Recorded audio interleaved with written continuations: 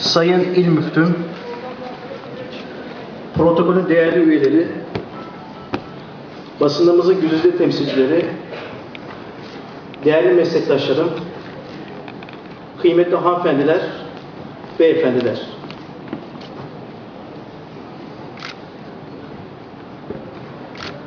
Camiler ve Din Görevleri Haftası münasebetiyle Tekirdağ İl Müftülüğümüzün hazırladığı cami ve namazla arınma konulu konferansımıza hepiniz hoş geldiniz.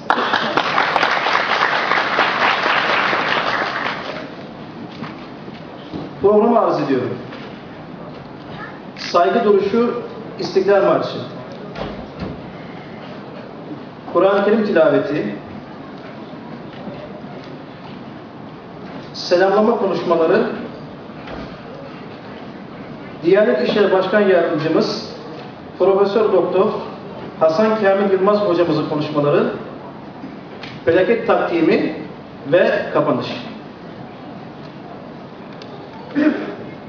Şimdi sizleri Gazi Mustafa Kemal ve aziz şehitlerimiz için bir dakikalık saygı duruşu ve arkasından İstiklal Marşı'na davet ediyorum.